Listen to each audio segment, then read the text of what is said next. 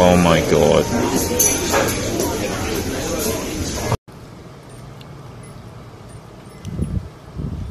Ooh, man, look at that. Smoked.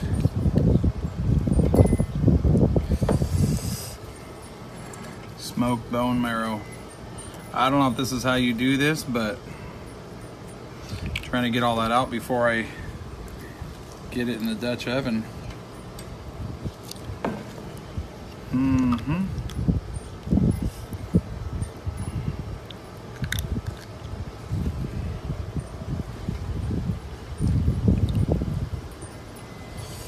Oh yeah.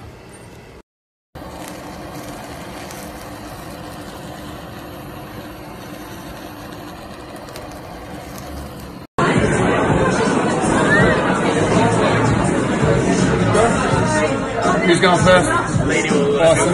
So, the bone doesn't get hot, but the whiskey will pick up a little bit of heat as it travels down. It's actually oil in the char. It's not a tasty way of doing. It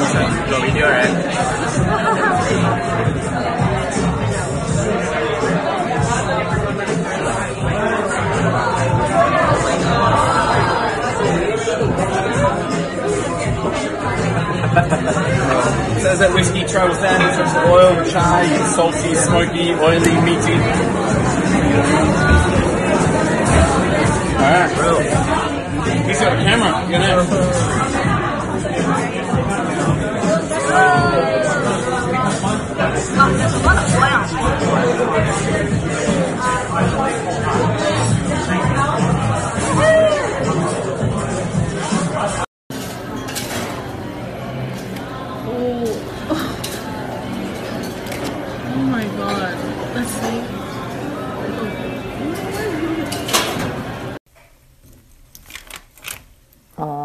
All the marrow.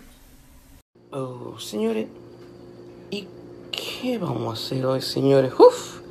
Bone marrow. Los ingredientes, señores, necesitamos hueso. Hablamos de eso en detalle ahora mismo. Agua fría, ¿verdad? Pila de sal, no te preocupes. Ok, vamos a tirarlo ahí. Y me dijo, no, tú ser puertorriqueño. Y yo le dije así, mira, chequea esto. Después de 24 horas, tuve lo blanco que salió. Y sal y pimienta, señores. ¿Verdad? Ten cuidado que tiene mucha grasa abajo. Bajaca. Así que ajo, albahaca, ajo, cilantro. Tú ves todo ese aceite que está ahí. Tú pones el pan después de estar tostado. Cogemos una cucharadita de la pequeña aquí, señores. ¿Verdad? Enfócate, hermano.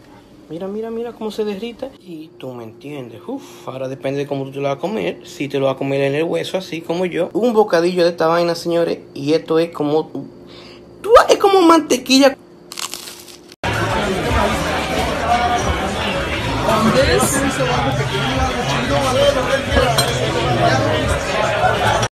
Happy Sunday, everyone. So, today I'm going to make roasted beef bone marrow.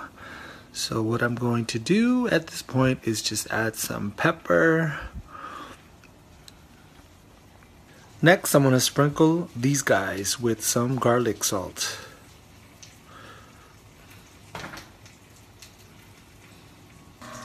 Go ahead and bake them for 30 minutes at 375 degrees.